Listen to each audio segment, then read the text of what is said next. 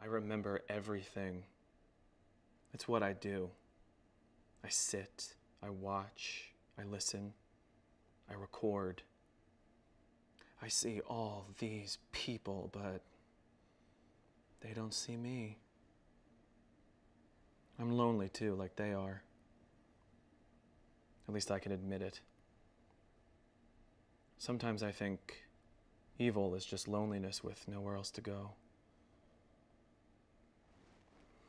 I wish I didn't see so much. I hate this gift sometimes.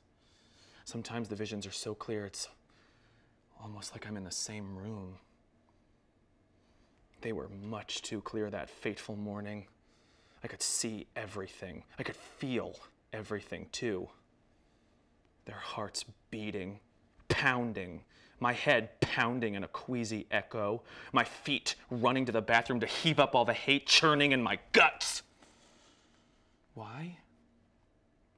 Why should I care if they screw each other's brains out? I thought you'd never ask. All these things happened once upon a time in the East Village when outlaws still roamed. It all began. Well, when did it really begin? When I met Rose? When I read her tarot cards? Or when I saw her and Martin rutting in his soft, soft sheets? Martin and Rose. You see, they were never meant to be together. They were certainly never meant to stay together. Paul chose me to stop those opposites from joining, from fulfilling their destiny. Paul. Yes, Paul. Paul is the proper place to begin the story.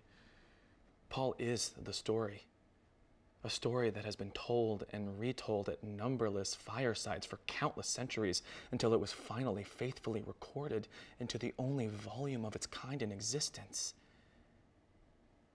in the book. The book is everything. Could read to you from its pages, everything would become so clear. But Paul would never allow that. We would never allow that. So instead, I will tell you the tale as it was told to me, the story unraveling thread by thread. Yes, I've debated it for some time now, but my course seems clear. I will show you the journals just do me a favor, please, and